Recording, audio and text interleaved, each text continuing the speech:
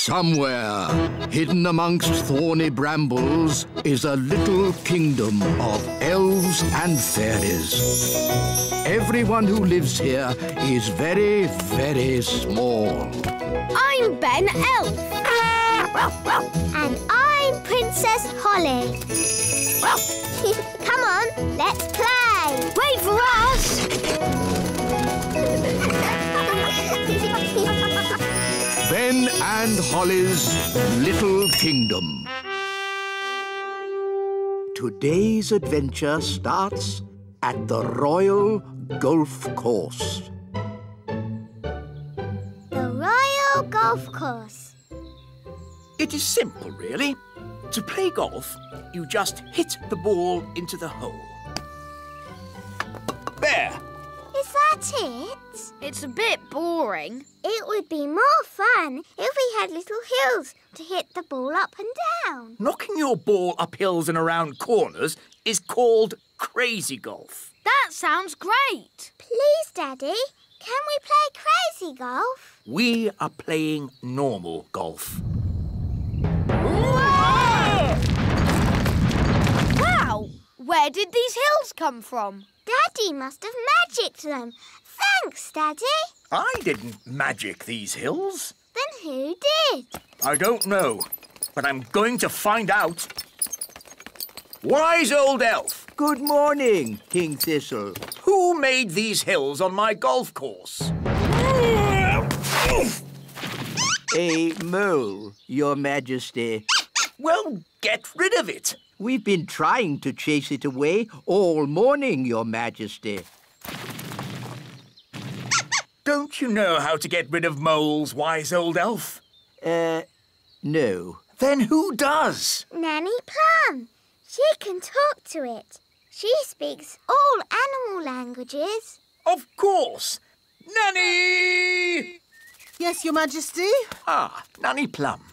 You talk to animals, don't you? Yes, Your Majesty. Then can you tell this mole to leave my golf course? Uh, no, Your Majesty. What? I can't speak mole. It's one of the more difficult animal languages, along with aardvark. Well, can't you use magic to get rid of the mole? There is one magical method to get rid of moles, but unfortunately, it uses a gnome. What's that? A gnome, Your Majesty, is a sort of elf with a big tummy. What? Gnomes are nothing like elves.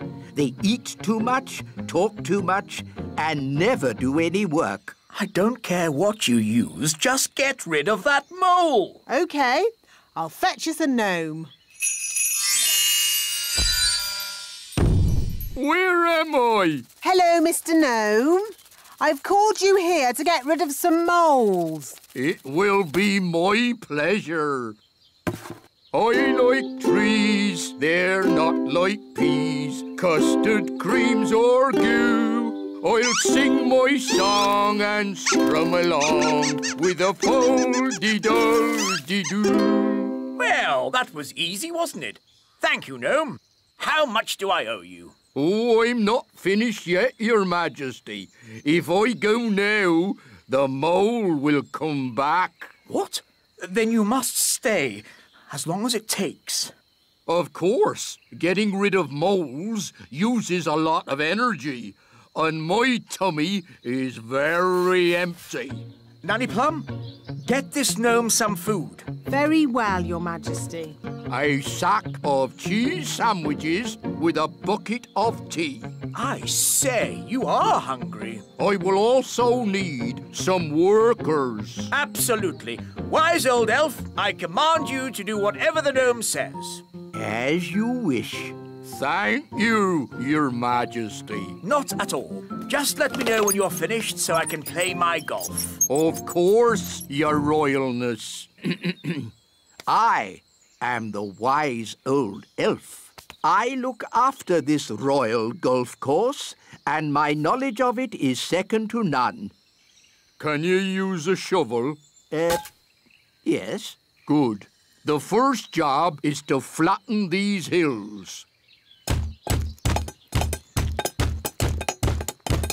My name's Ben. And I'm Princess Holly. but you can call me Holly. That's nice. You can call me Mr. Gnome.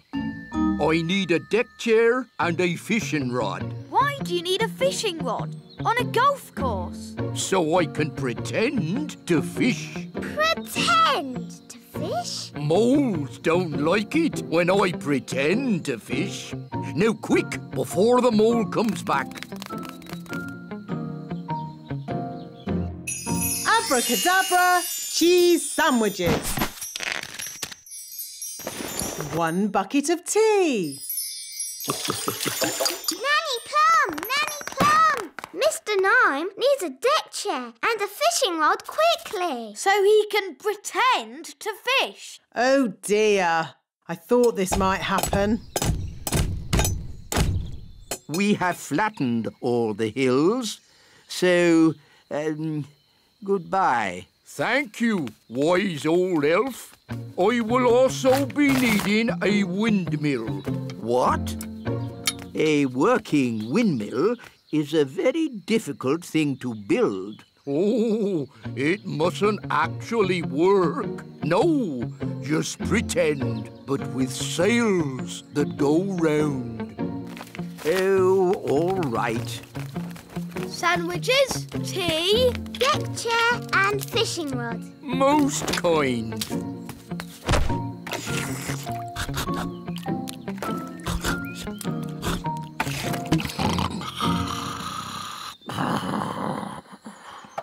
What's that noise?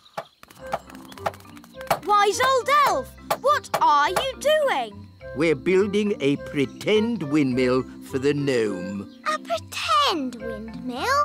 Yes, it mustn't actually work. It's just silly. But it looks fun. Can Holly and I help you? Oh, yes, please. Now we can fix the sails.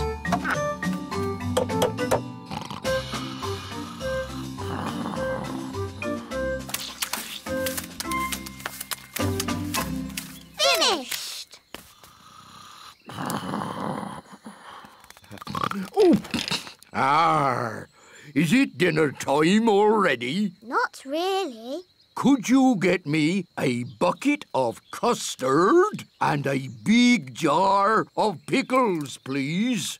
Oh, and some plastic flowers. You're going to eat plastic flowers? No, that would be silly. They go with the windmill. Ah, good work, wise old elf. Thank you. Goodbye. Finally, I will need a little bridge, what? A plastic well, and a little picket fence. So he wants a bucket of custard and a big jar of pickles? Yes. Hmm. I knew it. I should never have used a gnome. What's wrong with gnomes? Ugh. They make everyone else work while they just eat and sleep. Grumbling again, Nanny. I say, are we going on a picnic? No, Daddy. This is food for Mr. Gnome. What are we going to eat for dinner, Nanny? There's no food left, Your Majesty. The gnome has eaten it all. Nanny, remember that Mr. Gnome needs plastic flowers too. Plastic flowers? They go with the windmill. Windmill? I'd better see what this gnome is up to. Oh, ah, thank you, wise old elf. I couldn't have done a better job myself. Ooh, look! A pretty bridge. I can see you've certainly been working hard, gnome. Yes, your kingliness. So, when will it be safe for you to leave? Oh, well, I don't think it ever will be, your royalness. What? I might have to stay here forever. But what about my golf? I won't get in your way. But you are in my way. Ooh, custard and pickles. I can't play golf with all this stuff around. I know. We can play crazy golf. Yes, crazy golf. This crazy golf is much better than the other kind. Yes. Daddy, do you want us to teach you how to play crazy golf? It's fun. Oh, okay. What do I do? Just hit the ball through the little windmill. And into the hole.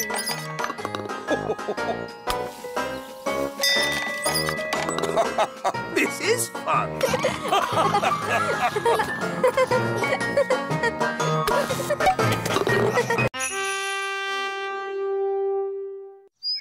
Somewhere, hidden amongst thorny brambles, is a little kingdom of elves and fairies. Everyone who lives here is very, very small. I'm Ben Elf. And I'm Princess Holly. Come on, let's play.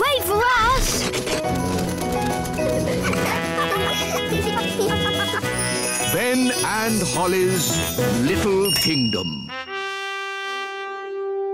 Today's adventure starts at the Great Elf Tree. Morning, noon and night.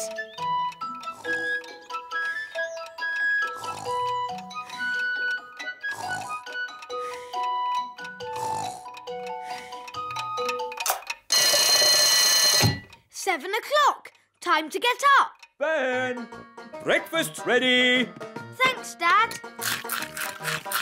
Right then, let's get your hair brushed. Let's get your elf hat on. Don't forget your new watch. There. Now you're ready for school. But, Mum, elf school doesn't start for ages. Can I go and see Holly? I want to show her my new watch. Okay, but make sure you get to school on time. Of course I will. Elves are never late. And I'm an elf. Phew, Mr. Elf. Mornings are such hard work. I should say so.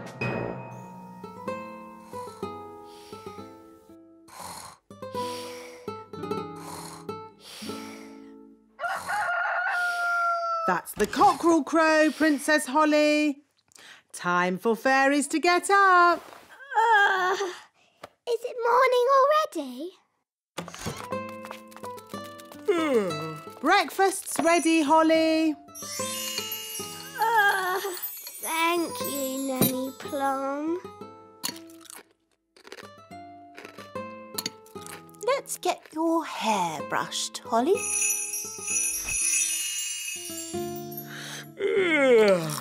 And here's your crown. All done. Ah. Mornings are such hard work.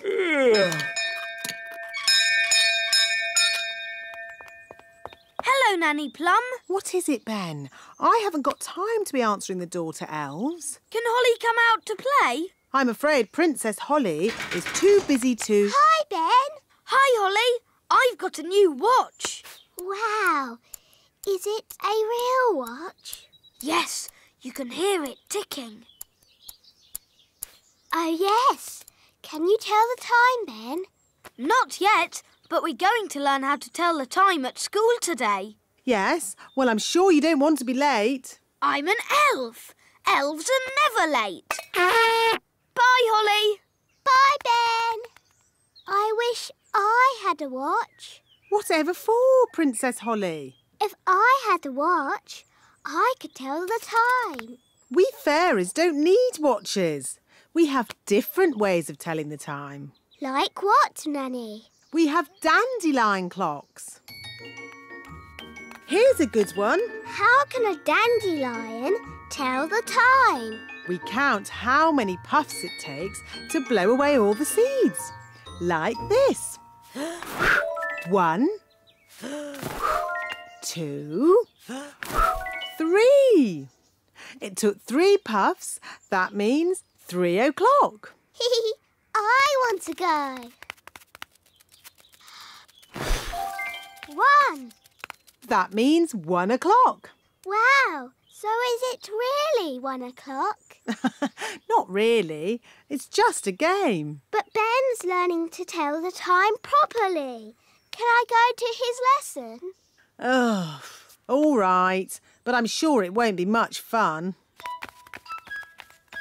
When the big hand and the little hand are pointing straight up, it is 12 o'clock.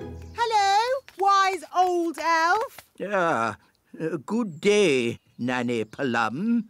Can we join you? Yes, as long as you are quiet. Rightio. Hmm. Now, uh, who can tell me how we know a watch is working? We can hear it ticking. Oh, yes, Holly. Very good. You see, we fairies know all about time. But you fairies don't have watches or clocks. We have our own ways of telling the time. Hmm, I'm sure you do. Now, how do we know when to wake up in the morning? The alarm clock rings. Correct. I wake up when the cockerel crows. Cock-a-doodle-doo! Yes, I see. And how do we know when it's time to go to sleep? When the clock says it's bedtime. Yes, correct again. I go to sleep when the owl hoots. Twitter-woo! But without clocks, how do you know what time it is? We have dandelion clocks. Look. One, Can I have a go? two, And me. three. That means three o'clock. Stop, stop, stop. That's all fairy nonsense. But it's fun. Fun has nothing to do with telling the time. I don't suppose you fairies can tell me what time it is now. It's noon. Ah, yes, Holly. Well done. Wow, how did you know that? Because the sun is high up in the sky. And I know it's lunchtime because my tummy is rumbling. How silly. Excuse me. My tummy is never wrong. Oh, it is lunchtime. School is finished for today. Hooray! Holly, would you like to come over to play this afternoon? Yes. OK. See you later, alligator. In a while, crocodile. Hmm. It's almost six o'clock. Where's Holly? Hi, Ben. You're late. Fairies are always late. And I'm a fairy. Hurry up. I've got something to show you. What's that noise? You'll see. Are we there yet? Nearly. This way. Hello, Princess Holly. Hello, wise old elf. This is the great elf clock, Wow. the most accurate clock of all. What does accurate mean? It means it always tells the right time. Quite so, Ben. I set it every night by the distant bells. They usually ring about now. Da da dum, do da dee da, da da la la, da dum dee da. Oh, my tummy's rumbling. That means it's time for dinner. Dinner time! Dinner time!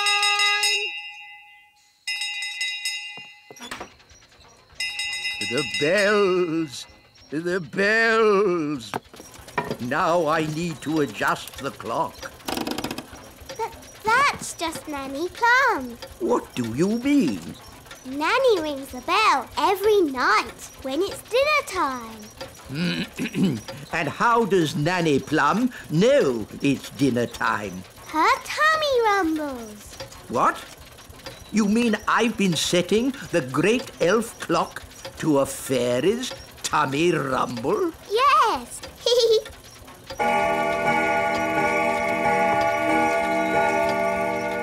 Oh, Her tummy does seem to be amazingly accurate.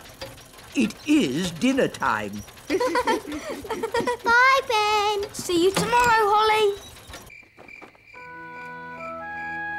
And the beautiful princess lived happily ever after. The end. Time to sleep, Holly. But, Daddy, the owl hasn't hooted yet. There's the owl now. And the fierce dragon ate the witch. And everyone lived happily ever after. The end. Time to sleep, Ben. But, Mum, the clock hasn't chimed yet. Oh, it's chiming now.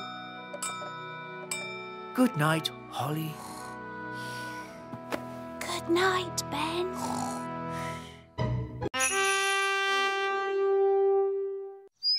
Somewhere, hidden amongst thorny brambles, is a little kingdom of elves and fairies. Everyone who lives here is very, very small. I'm Ben Elf. And I'm Princess Holly. Come on, let's play. Wait for us. Ben and Holly's Little Kingdom. Today's adventure starts at Gaston's cave. Gaston's visit. Gaston. Are you coming out to play? Oh, Gaston's sneezing. Mummy, Daddy, Gaston the ladybird's caught a cold. I'm not surprised. His cave is leaking. Look. Hmm. There's a hole here. Maybe if we move that pebble over it. Good day. Good day, wise old elf. Uh, what seems to be the problem? Gaston's cave is leaking. Hmm. Leaks can be tricky. What you need is a proper builder to fix it. But where can we find a builder? I'm a builder. Really? Oh, yes. Elves are very good at building. And I'm an elf. In that case, I command you to fix Gaston's cave. Yes, Your Majesty. A wise decision. Hmm, interesting. There seems to be water dripping in.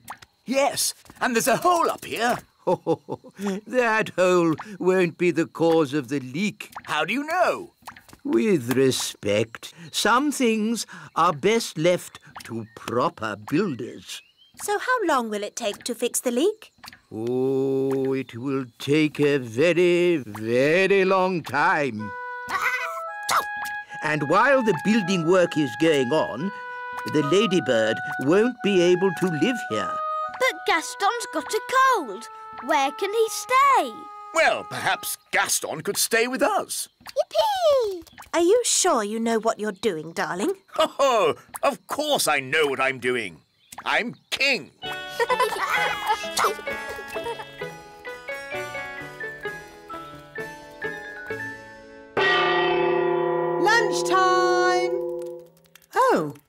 I'm afraid insects are not allowed inside the castle. It's all right, Nanny Plum. Daddy's invited Gaston to stay with us. Oh, very well then. Make yourself at home, Gaston. Gaston, Gaston, ladybird. I hope he's going to learn to wipe his feet. Gaston isn't well, Nanny. and he hasn't got anywhere to stay. I'm still not sure it's a good idea for him to stay with us. Don't worry, darling. Gaston will be no trouble at all. So, where is he going to sit? He can sit on this little chair. Nanny Plum, you can speak, Ladybird. What's he saying? Gaston says this chair is too little. No, that's the Queen's chair. Don't fuss, Nanny Plum. The Queen doesn't mind, do you, darling? Gaston says this chair is too hard. Actually, Gaston, that's my chair. Gaston says this chair is just right. Goodness, it's like having Goldilocks to stay. Never mind, Daddy. You can sit on this little chair. Yummy. Thanks, Nanny. Yes, this food is delicious. I suppose I'd better magic up some special ladybird food. By a ladybird's growl, food smelly and foul. Look, smelly welly. Gaston loves smelly food. Uh, why isn't he eating it then? Gaston says it's too cold. Uh, hello, Gaston. Daddy, I think he wants to try your food. Hmm. Have a little taste if you like, Gaston. Gaston says it's just right.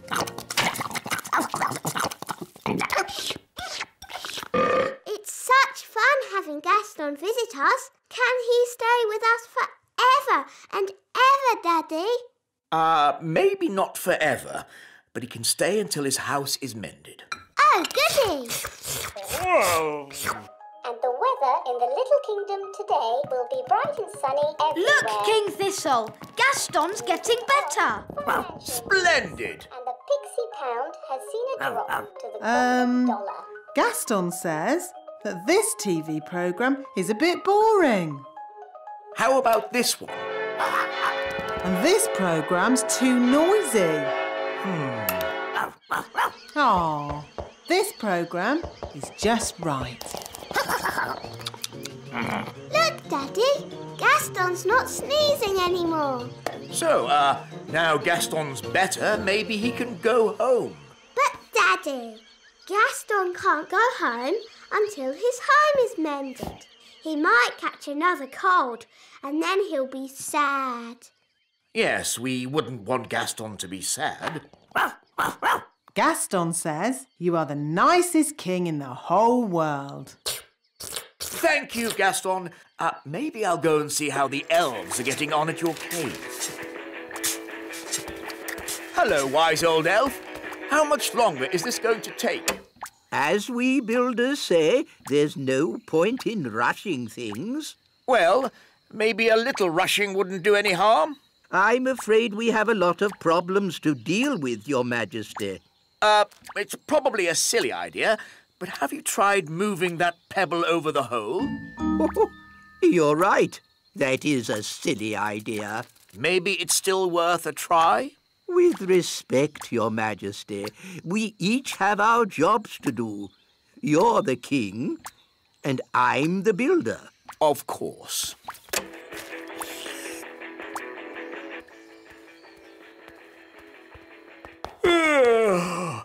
it's been a long day.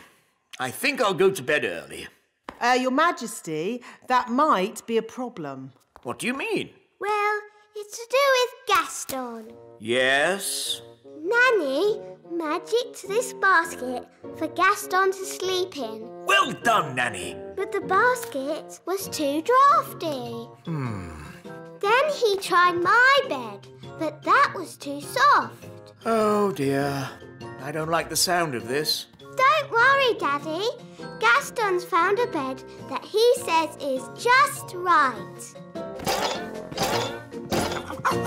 Oh, but that's my bed. What's he saying now?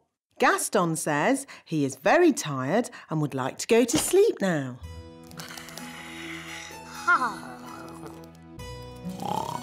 Good night, Gaston. Sleep tight. So, where are we going to sleep?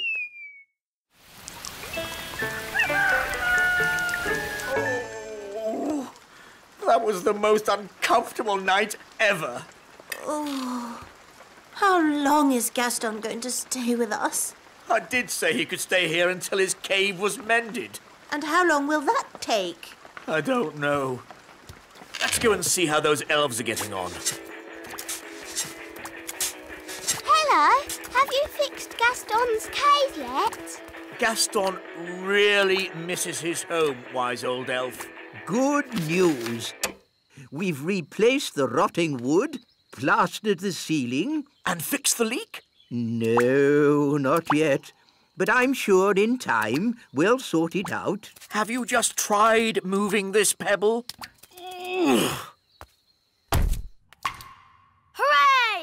King Thistle's mended Gaston's cave. Well done, Daddy. Amazing work, Your Majesty. Have you ever thought of becoming a builder yourself? Uh, actually, no. I think I'll just stick to being king. Look, Gaston, your cave's ready. You can go home now.